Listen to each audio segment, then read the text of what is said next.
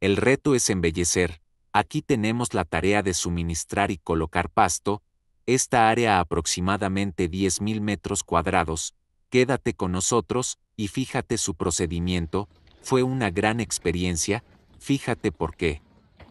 Estamos en la comunidad de Paso Carretas, en el ayuntamiento de Comapa, Veracruz, donde el clima es extremadamente difícil ya que contamos con una temperatura hasta 45 grados, ahí entra este gran reto.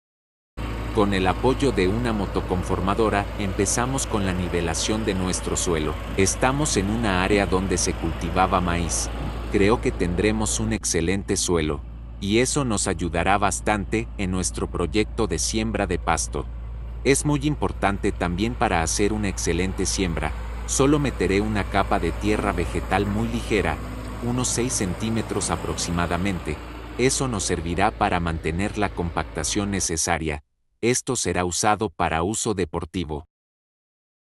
Nuestro maquinista con su gran experiencia, Dejaremos el suelo lo más suelto que se pueda para hacer el mejor enraizamiento de nuestra siembra. Creo que estamos haciendo un buen preparado de terreno para nuestro objetivo. Fíjate qué diferencia. El suelo está prestándose para una buena siembra. Meteremos un pasto que reúna los requisitos, clima, suelo, calor, falta de agua, altas temperaturas, fríos, y lo más importante que aguante ya que es para uso deportivo. Estamos en Comapa, es municipio de Comapa, en la localidad de Paso Carretas. Y la siembra empezó, con unos camiones de 20 toneladas transportábamos el pasto, la elección recomendable de la variedad de pasto, por nuestra experiencia elegimos una variedad de pasto grama, un pasto que es difícil de conseguir y su colocación era un poco complicada, lo armábamos como rompecabezas, ya que es un pasto que no es comercial. Solo que reunía los requisitos que se necesitaban para esta zona. Dejen para atrás como estamos ya metiendo ahí todo lo que es nuestro pasto, ya se está regando. Mañana le vamos a dar una le vamos a meter enraizador y fertilizarlo. El clima nos obligaba a regar constantemente, el agua se transportaba en una pipa de 10.000 litros, aproximadamente, el calor subía hasta los 40 grados. Y eso hace que se nos deshidrate constantemente, la humedad era desintegrada por el calor y el agua no era suficiente.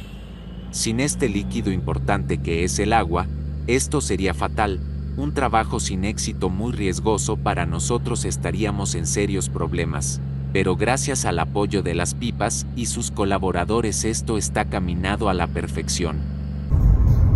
Estamos haciendo lo que es el empastamiento de un campo deportivo de béisbol y vamos a meterle su fertilización al, a lo que es el pasto. Vamos a meter sus enraizadores para ponerlo al 100. Estamos ya regando con el cañón Aquí estamos usando la misma estrategia en la pipa, aplicando sustratos de enraizamiento, enriquecido en fósforo y potasio. Es un enraizante líquido que en su aplicación favorece el enraizamiento de los cultivos, estimula el crecimiento de la raíz, haciendo que esto tenga un mejor resultado. En las pruebas checábamos que nuestro trabajo tenía el mejor resultado, hasta ahí todo marchaba a la perfección. El enraizamiento era todo un éxito, estaba concluido nuestro trabajo. Saludos amigos, andamos en Veracruz.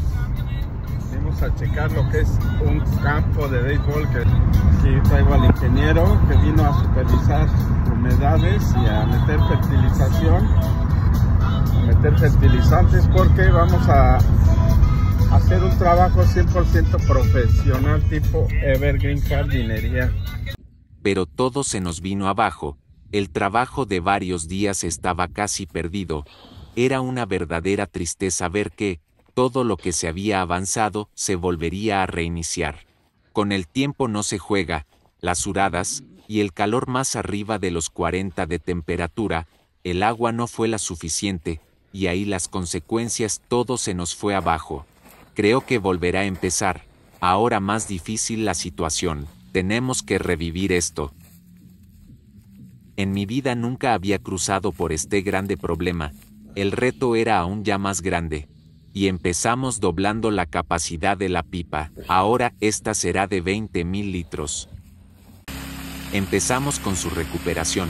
El riego era más agresivo, se aplicaba en forma de inundación de área tratando de meter la suficiente humedad al suelo, nuestro pasto se hidrataba, y agarraba color, nos daba una esperanza, su pérdida sería una mala experiencia para nosotros, pero lo estamos logrando, esto no tenía que pasar, pero es parte del clima y con eso no se juega. Su recuperación fue lentamente, aquí estamos haciendo un gran esfuerzo, y se está logrando, Fíjate qué hermoso, el pasto está respondiendo perfectamente. Estamos hablando de una área de 10.000 metros cuadrados, con una pipa de 20.000 litros, se regaba de 80 a 100.000 litros de agua por día, casi nos acabamos los ríos de la región, te compartimos esto para que lo uses de experiencia, al hacer un trabajo, como este tienes que hacer. Un análisis de clima, suelo, región, agua, el tipo de pasto a colocar es lo más importante. Si hubiéramos colocado un pasto comercial, pasto que se usa para la jardinería, estaríamos metidos en un grande problema. Ahí entra la experiencia. Venimos a ver aquí el campo que estamos empastando deportivo de béisbol. Es una unidad Hoy vino a supervisar la humedad con la humedad necesaria, le dimos su planchado, para después podar y entregar.